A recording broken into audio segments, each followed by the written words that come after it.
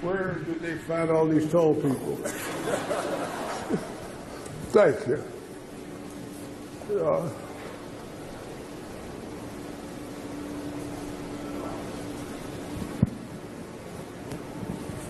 I would kick your ass.